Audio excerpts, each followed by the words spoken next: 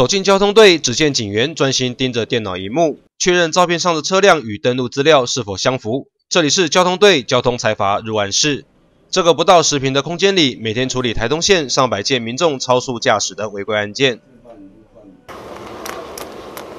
先调从网路进来，把车子调出来，然后去判定这个它的车型，然后它的车的车号。从八月份开始，全台东所有的车速照相全部更换为数位化，只要被任何一支车速照相拍到超速违规，第一时间照片透过网路就会回传到这里。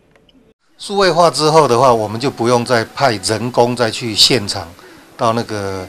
这个闯红灯照相杆哈去换底片，那他的违规行为闯红灯就会透过我们的数据，透过这个这个中华电信的这个传输。哦，直接把你这个违规的事实传输到传送到我们的这个系统里头。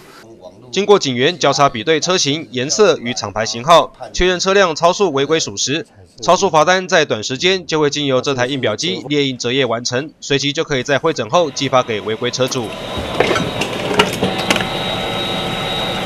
这个系统里头，这个一样跟违规超速一样，马上我们这边就是下载查清，把你的。这个车籍资料查清楚之后，我们马上就是制单。我们这边每天都是有专人在这边负责，所以，呃，你那边一违规，我们这边马上就收到这个讯息的话，马上就会下载。